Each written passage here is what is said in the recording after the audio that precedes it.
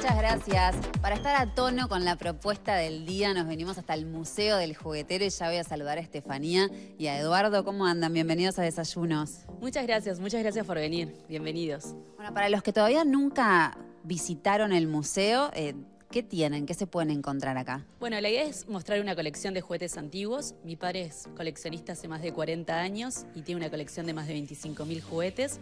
En el museo tenemos el 10% de su colección y la idea es que todo el tiempo estamos trabajando en las vitrinas para que se pueda ir viendo toda su colección.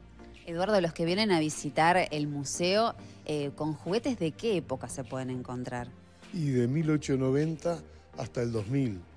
Y la verdad que mucha gente se va muy emocionada porque encuentra el juguete con el cual jugó de pequeño. Y Hay gente, perdón, que nos dice, esa la tuve yo y esa es la mía. Es verdad, es verdad, y se va muy emocionado. Aparte nos felicito porque, claro, eh, mucha gente no conservó el juguete de niño. Entonces acá como se le hace la realidad, vuelve al pasado con lo que él jugó. ¿Y cómo hacen para ir renovando la exposición? Bueno, a medida que vamos cambiando los juguetes, vamos eh, clasificando y nada, la idea es eso, mostrar todo el tiempo juguetes nuevos para que también las personas puedan volver al museo.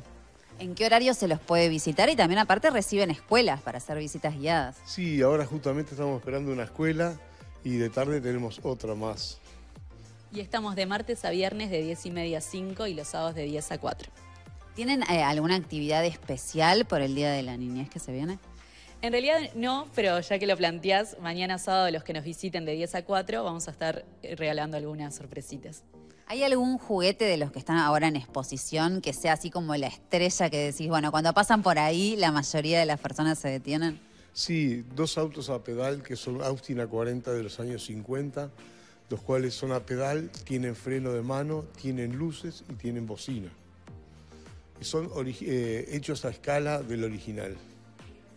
Así que esos son como, digamos, eh, lo, que acapara la atención de las personas ahora en el momento. Sí, exacto. Esos son los que tenemos desde el principio y difícil cambiarlos. Hay juguetes que vamos a tener que mantener fijos porque son una reliquia.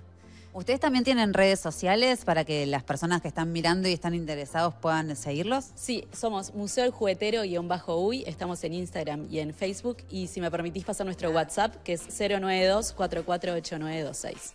Bueno, muchísimas gracias a los dos por estos minutos y invitamos a todos los que están viendo y quieran venir a, visitarlos. Bueno, muchísimas gracias por venir, los esperamos. Muchas gracias, los esperamos.